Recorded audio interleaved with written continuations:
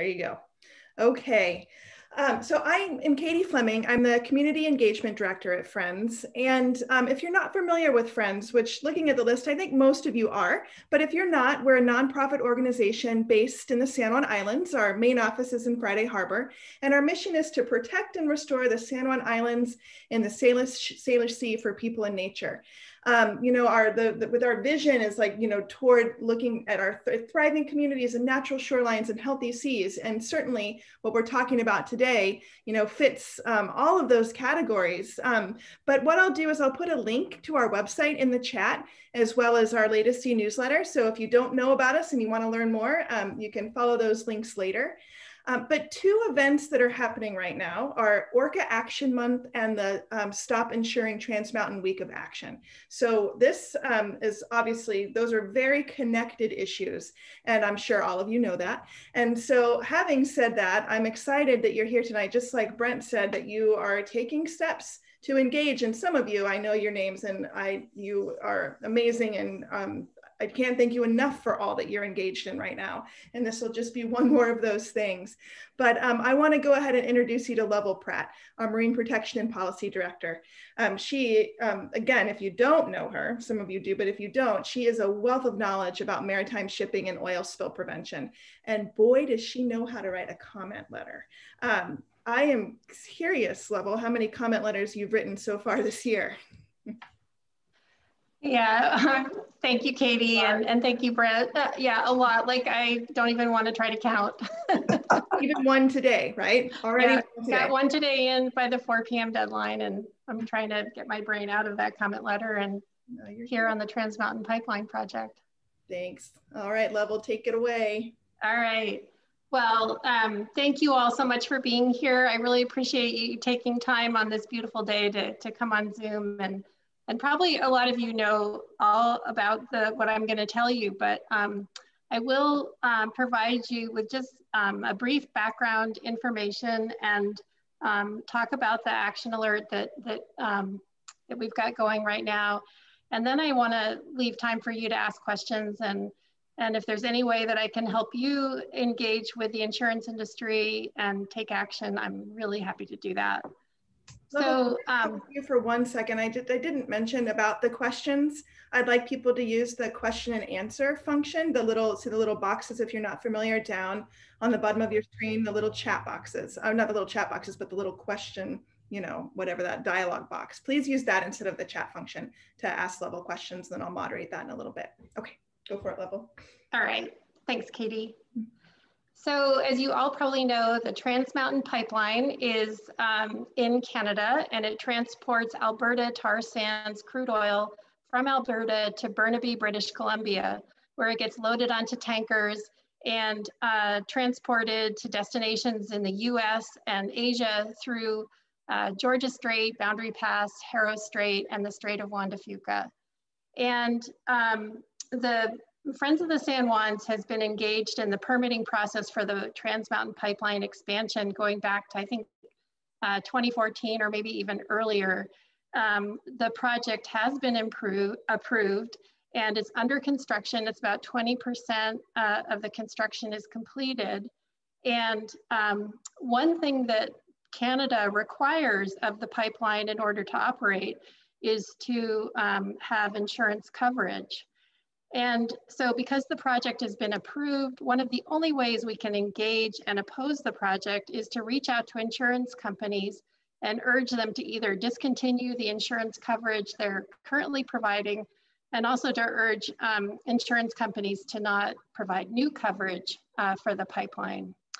And um, you know, why does this matter to us? You know, really, it's it's mostly the vessel traffic that we're really concerned about. Um, the pipeline expansion would add an additional 696 tanker transits through our waters each year. And even if there, you know, we're, you know, additional vessel traffic increases the risk of accidents and oil spills. And that's a tremendous concern. And even if there, you know, the vessels operate safely and there are no accidents or oil spills, just the noise from the ships and the presence of the ships significantly impact the southern resident killer whales. And as Katie said, this is Orca Action Month, and Friends of the San Juans, we were one of the organizations that petitioned the federal government to list the southern resident killer whales as endangered species. And that was back in 2011. And ever since that time, we've been really focusing a lot of our efforts on their protection and recovery. Um, so anyways, these, these tankers, um, the noise from the tankers impacts the southern resident killer whales ability to communicate and to echolocate, to hunt for um, the preferred prey, the Chinook salmon. And the presence of the ships impacts um, their foraging. And, and so it's a very um, significant concern. And then um, we're very concerned about ship strikes um, because the ship strikes can can kill the southern resident killer whales, and there's documentation of that. Um, you know, before I um, get into uh, uh, more information about insurance, reaching out to the insurance companies and taking action, there's a few studies I'm just gonna ask Katie to post in the chat, and I just wanna make sure you're aware of them. Um, the first is um, Katie's going to post a link to a 2019 study that San Juan County contracted for um, the San Juan County Oil Spill Risk Consequences Assessment. And one of the things in that assessment, um, it analyzed uh, the cost of a 4 million gallon diluted bitumen spill at Turn Point. And this um, analysis was based on a spill scenario that was included in the application for the Trans pipeline expansion. And, uh, and the study determined that the damages would be from 142 million to 510 million just in San Juan County. So not included, I mean, the oil of course would go, would um, come ashore on other counties and in Canada, but just looking at damages in San Juan County, that was what they came up with.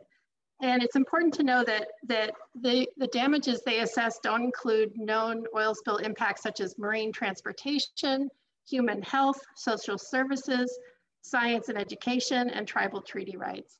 And, and also it doesn't include the cost of the oil spill response itself or the assessment for natural resource damages and, um, and the restorations of natural resources. So um, I just wanted to be sure you're all aware of that study.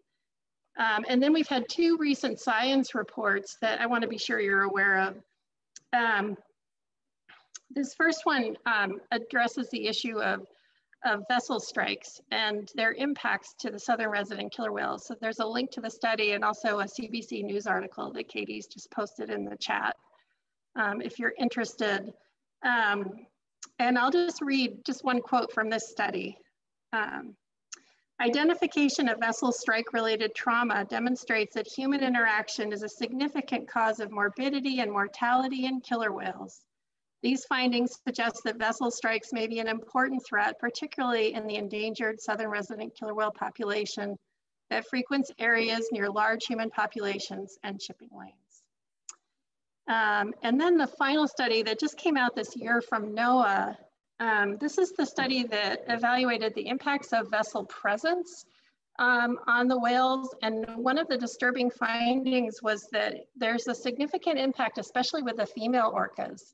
And this is very concerning because of course, you know, we want this population to recover. We want the population numbers to increase. And to do that, we need um, the female orcas to be well fed while they're pregnant and well fed while they're nursing calves. And so um, this information about how vessel presence has a particular, um, is particularly impactful to the female orcas is very concerning. Um, so there's a link to that study and also a, a great article that Linda Mapes did in the Seattle Times.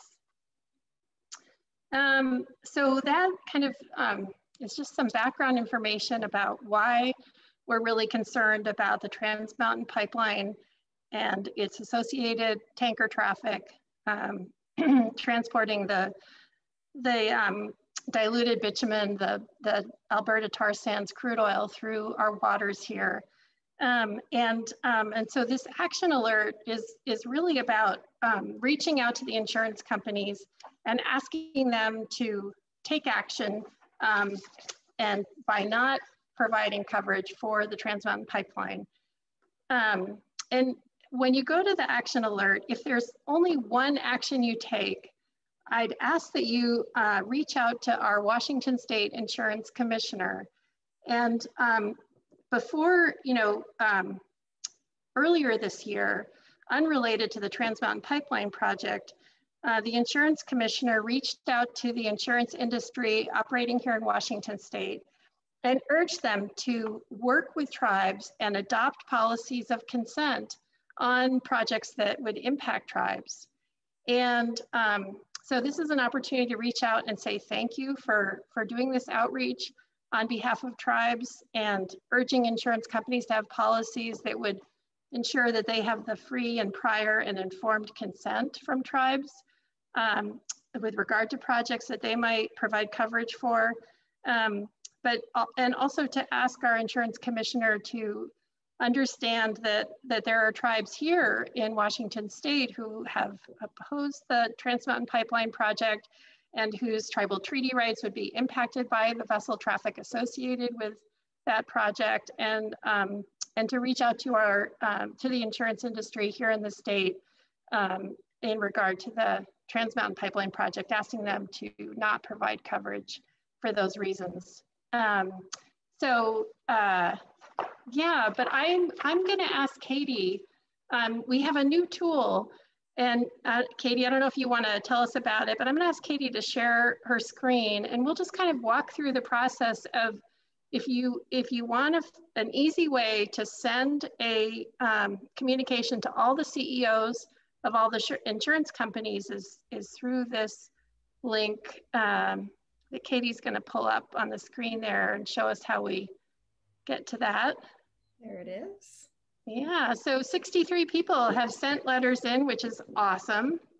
And one thing, um, so Katie was gonna go ahead and fill this out, and I was just gonna give you just a couple of tips um, of simple things that you can do to personalize your message. Um, you know, when, when companies get form letters that are all identical, they, um, they may you know, just lump that all in as one comment and not recognize them as multiple comments.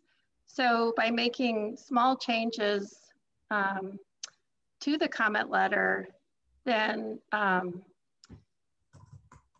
we'll let Katie fill in her yeah, and I just put information the, here. I just put the link to the um, to this tool in the chat, and then also to our website too that has the the information about contacting Mike Kreidler as well. Oh, thank you, Katie. Yeah. Yeah. All right. And I think, do they make you do this? We'll do this. Um, I should have had this up here and then it'll take us to where we need to go next. Um, and here we go. Okay, and so that's the important part now, start writing. This is where we can start to customize what we're up to but you can see there's all sorts of people. This is a different one, right? Where some of them will just be like, it'll just be like your state senator. But in this case, we had a lot to, to write here, to write to. Okay, so here's the important part. Yeah. So one of the one of the easiest things you can do is just to make a small change to the subject line. So where it says your letter subject, to just make it a unique message when it's received by um, the insurance company. So um, yeah. And so Katie's just gonna put in some of her own wording there just to modify that subject line. Okay, and I might even just, you know, I don't know, what do you think? Can I take all that out Lovell? Yeah. All right, there we I, go. Whatever, whatever, you know, I, th I think when you're sending a, a comment, it, whatever speaks to your heart and whatever you think is most important, go with that. Um, and so, and so then, um, you know, Katie's gonna talk about where she lives here up in the first line. Mm -hmm. um, and then one of the most important things is down at the bottom um, to sign your name. Because it's just at this, in the form letter, um, there isn't a um, generic um, signature, but you can include your name there and whatever, if you wanna include contact information, you can. Okay. Um, so we've provided you with some um, recent scientific studies, and if those um, are meaningful to you to include, you could include that. Um, so it's really just about, you know, making a few changes um, in the subject line, the first thing they see when they receive it, that, that makes a big difference. And, and then, yeah, yeah that's great. And click send. And of course, you can just click send without making any changes at all, but um, it's great if you can make those changes. Mm-hmm. Um, share here too. Like I saw someone just recently shared it on Facebook um, that I saw. And so you it's a really easy thing to do. Yeah. Great. Yeah. Thanks, Katie. And I'll share it after I give this back to you here. okay. Yeah. Um, and then, you know, I've been making phone calls and um, Katie, actually, could you pull up the list, um, the link to the list of all the contact information? So in the action alert, you have there's a list that lists the email addresses and the phone calls for key people in the various insurance companies. And um, and I've been making phone calls, and I found that um, I've made a number of calls where I get a voice message that says their mailbox is full, and I figure, well, that's a good sign. They've gotten a lot of calls. Um, um, but if you do call um, the CEOs phone numbers. Typically, they have secretaries that will answer the phone. These are lovely people, and I've had great conversations with um, several folks that way. Um, so, and then also, um, typically they have a customer service line that you can speak to a real person at. Um, so we've provided all these phone numbers. If you're feeling um, like you're up for a phone call, that's great. And then we also have the email addresses listed individually in case you're more comfortable, you know, sending a personalized email that way um, instead of using the form um, that we've provided. So hopefully we've got tools there that you can use to, to do outreach. And, and then of course, um, like Katie said, um, reaching out to family and friends and just um, passing on the action alert to those who you think can um, to take action as well, that would be great. Um, and I think at this point, you know, if anyone has any questions or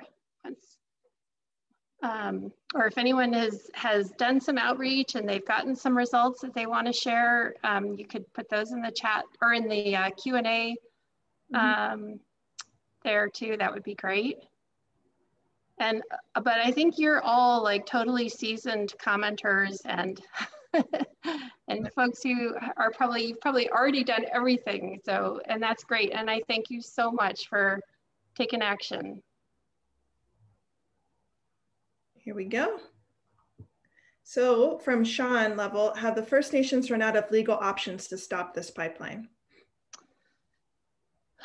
You know, as far as I know, I'm not aware of any actions that are active at this time, but that's a really good question. I should research that. Um, so this would be up in Canada, uh, but I will find out and I'll get back to you. And if anybody else wants that question answered, um, I can send it to all of you.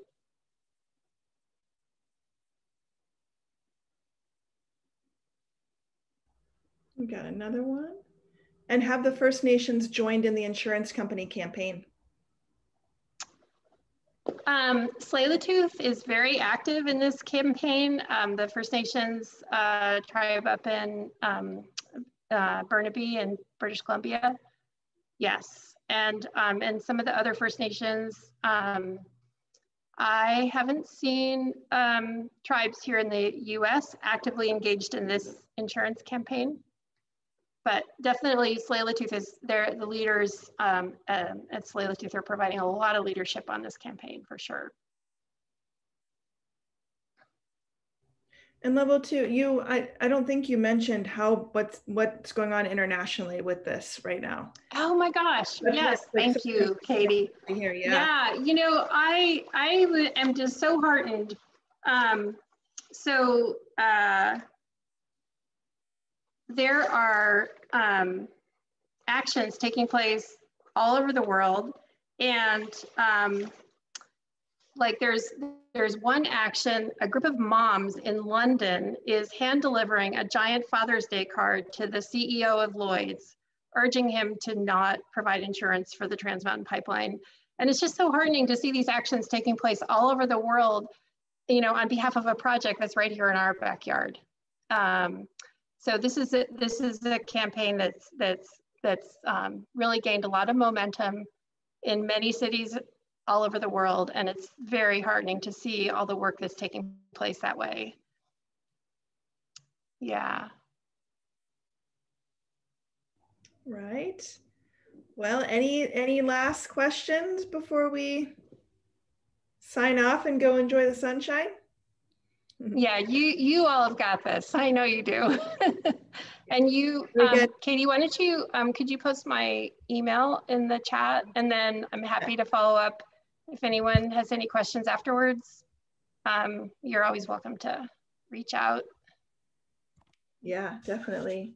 Um, yeah, and then and then you know Janet says the Trans Mountain expansion has had a poor safety record already, yes. which is something to mention in these comments, right? Right. Like it's yeah. Yep. Mm-hmm. Yeah, that is very concerning. Um, that's very true. Yes. Yeah, and they have to shut. She says they have to shut down because of this. So yeah, it's it's definitely it's not a good project. No. no, and I you know, and I I don't know that I said it at the beginning, but mining the tar sands uh, to derive the tar sands crude oil takes a lot of energy. So this product has a lot of greenhouse gas emissions, unlike a lot of other crude oils. And um, so it's the worst of the worst in terms of greenhouse gas emissions. And, and that's also why this project is so concerning, is, is just that um, it's just adding to, you know, the, um, the greenhouse gas emissions coming from Canada, coming from the Alberta tar sand projects. And it's so unfortunate that they're just increasing uh, the production of the Alberta tar sands crude. Which is why it's such an important national effort, international effort, right? Yeah, like absolutely. That's what people recognize. You know, we have to transition away from these fossil fuels and um, and expanding a project like this is the wrong direction, totally the wrong direction for what we need to address climate change issues right now. Yep, absolutely. Yeah. Oh, we've got another question. Have there been recent analyses of potential markets in Asia? Um, not any recent ones that I'm aware of. I actually was surprised that um, you know, through COVID, there were some industries that slowed down, but in fact, um, there was continued strong shipments of tar sands crude oil during um, all through COVID. And, um, but I, there's an economist in Canada, Robyn Allan, whose work I just am so appreciative of. She's just so, um, she's such a good researcher and she's such a good analyst and she comes out with um, you know, great information and updates on a regular basis about this project and why, you know, it's it's a terrible project. And you know, Canada had bought this project from Kinder Morgan, so the Canadian taxpayers own it and are paying for it, and it is um, it's a bad investment. and and she does a good job documenting that. Um, so Robyn Allan um, and I don't know if we can, um, but if I, uh, I'll follow up if I find any recent articles of hers that, that does analysis about the potential markets, I will pass that on to you all. Yeah, and that was Janet who asked that too. So you could pass Okay. Yeah. yeah. We got another one. And from Sean, will this campaign extend beyond Orca Action Week and month? Well, so the reason why we're, we're um, we've scheduled this campaign right now is because right now Trans Mountain is shopping for their insurance coverage for the coming year. So their policies switch over on September 1st. Uh, they have an annual policy, their annual policies typically end the end of August and then they, and then the new policy is implemented in, in September. So their broker is out shopping right now. So that's why we're targeting this time period to reach out to insurance companies um, because they're asked to either renew their current, um, their existing coverage or they're being asked to provide new coverage. So that's why the timing of this action week is right now. Um, but that said, I, you know, this is something that has been going on for years and we've had success. Um, convincing some insurance companies to publicly state that they will not provide coverage. And they've gotten a lot of public support for that. And hopefully other companies will join them. Um, but this is an ongoing effort, I would say. So don't, you know, if you don't get to, um, you know, doing an action, taking action this week, it's not too late to do it next week or, you know, anytime, really. So thank you. Good question. Does the insurance cover construction only or shipping? That's a good so question. this would be um, insurance for the pipeline itself. So um, the, um, the actual shipping of the product is, um, the insurance coverage for that is separate. Yeah. And the shippers are required to have a certain level of insurance, but certainly not enough to cover what is realistically going to be the cost of a major spill. Okay, is that every everything? And again, we just put Lovell's, you know, um, email in the chat. My email's in the chat, and you can certainly, again, most of you know who we are anyway, and um, can get in touch with us very easily. Um, so let us know. Um, yeah, and I am also curious too. Yeah, well, um, I'm assuming, I don't, can you all raise your hands? If any of you have used the letter writing tool yet? Have you used it yet? And you can put it in the chat. But and again, you all know you all know us, and so I would love feedback on that because oh, good, because it's the first one, the first time we've done this, and um, we just wanted to make it easier for people instead of copying and pasting email addresses and doing all that. So I would love your feedback on how that worked too. Cool. Great. Thank you. Thank you everyone for coming. Really appreciate it. And thank you for all your good work. Yep. Thank you. And yep, we'll hopefully see you soon. And happy almost summer. Sure feels like it out there. Thanks everybody. Bye. Bye-bye. Thanks, Lovell. Thanks, Katie.